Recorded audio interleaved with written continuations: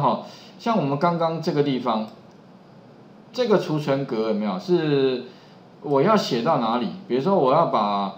这个哪一个班，哎，三班好了哈，比如三班，哎，往下找找找，找到三班对哈？那把这个其实哦，你会发现哈，如果是一个连续的储存格的话，那其实它就是一个范围。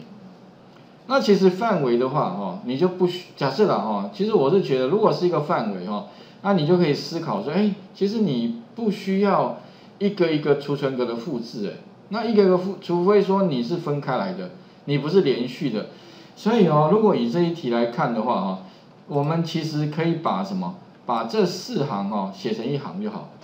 哎，那怎么写？四行怎么写一行？哦，跟各位讲啊，这四行我先把它注解掉了，注解的话，你可以在工具列上按右键，找到编辑工具列，哦。然后呢，选取这四行之后呢，请你按下使程式变为注解，这样这四行哦，就不然的话你把它删掉，下一次你就找不到比对。所以我习惯，那其实注解还有另外一个方法，就前面加单引号，只是说你要打四四个，不如用这个比较快哈。